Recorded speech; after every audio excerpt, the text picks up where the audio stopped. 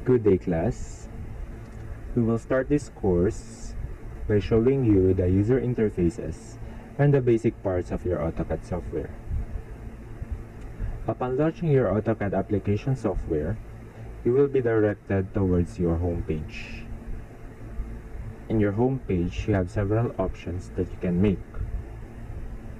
You can start your drawing or create a new drawing by clicking on the Start Drawing icon.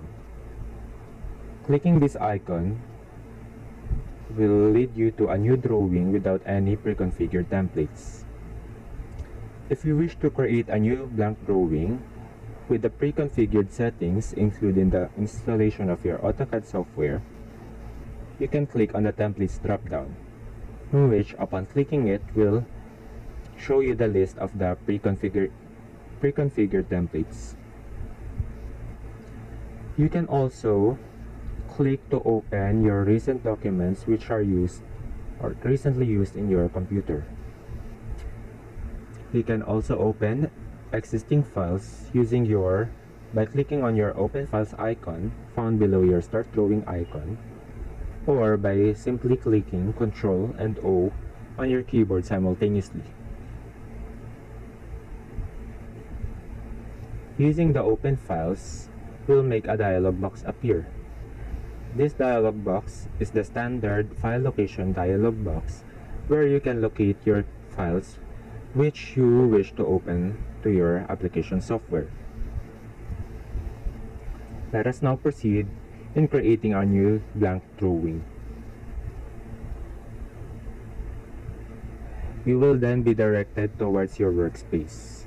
The center blank space or the largest space in the center of your application window is your working space where you can work on your different construction drawings such as your floor plans, elevations, and other working drawings that you wish to work on using this software. On the upper left corner of your application window, you will find your application menu in which by clicking the application menu icon, you will see several options. You can also see the list of the recent documents and clicking each listed documents will open it instantly. You can also create a new drawing using the new icon or by simply clicking Ctrl and N on your keyboard simultaneously. You can also open existing files by clicking the open icon or by pressing Ctrl and O on your keyboard simultaneously. You can also save your file to your PC or your computer by clicking the save icon or by pressing Ctrl and S on your keyboard simultaneously. Using the save icon or saving your document more than once in a single file will overwrite your existing file. It is advised that you frequently save your drawing in order to avoid repetition of your drawings in case of power shortages and blackouts or any unforeseen events. If you wish to save your file in a different location or a different file format, or a different file name, you can do this by clicking on the Save As icon or by pressing Ctrl, Shift, and S on your keyboard simultaneously. At the bottom part of your application window, you can see the Options button. Clicking the option, Options button will make a dialog box appear. In this dialog box, which is the Options dialog box, you can configure your preferences in your application window or your application software, such as your display settings, the adjustment of the background color, the file path where you can automatically locate your file, or the file format, the sizes of your crosshair, and the sizes of your marker sizes and their colors. If you made any changes or any adjustments, you can apply them by clicking the apply button and OK to exit the options bar.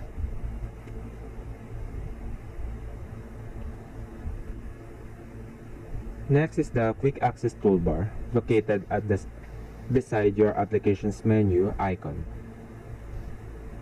The quick access toolbar contains the same icons as your application menu such as the creation of a new drawing,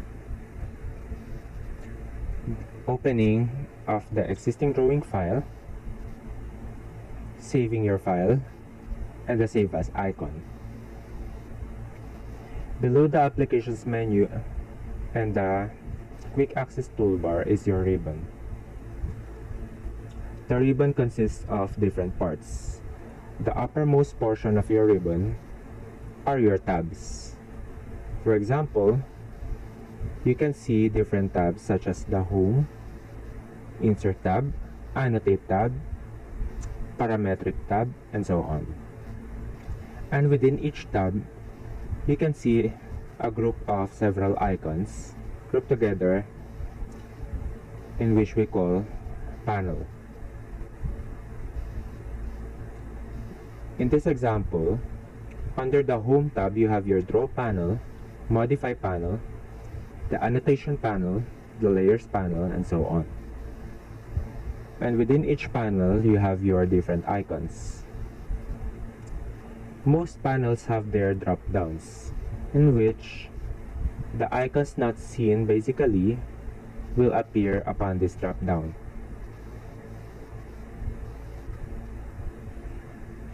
The next part of your our user interface will be the in-editor elements, which include the viewport control, which will be later on discussed in this course, you have your view cube which we will not focus much but to give you an overview the view cube is used for mostly for 3d modeling you have your navigation toolbar which consists of the navigation wheel the panning the orbiting in which most of these icons are used in 3d modeling upon the icons within the navigation toolbar, which we will use frequently in this course, is the pan or panning of the view.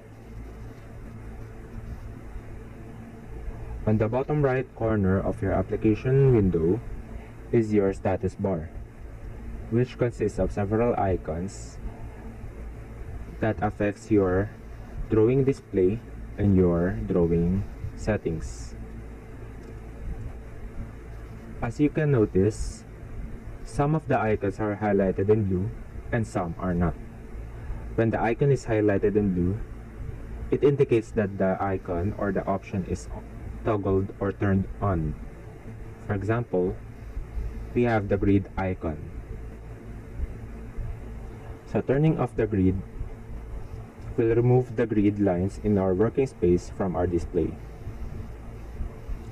And turning it back on will display again the grid lines. Most of the most of the icons in your status bar can be toggled using your function keys on your keyboard. Next, we have the command bar, which shows a few lines of your command history. Also in your command bar, you can you can see the commands that you are typing or you are entering and also the prompt which will you which you must do in in case you enter a specific command. And lastly, in the user interface, you have your layouts tab which will be emphasized later on in, in your printing and layout section of this course. But to give you an overview, the layouts tab or the layout tabs will shift your view from your model view and your layout view. The model view is where you will work on your drawing, such as your floor plan, while in your layout view, you will work more on your paper view, such as your layout, title blocks, your viewports, and so on. We will then proceed to the basic controls of your AutoCAD software.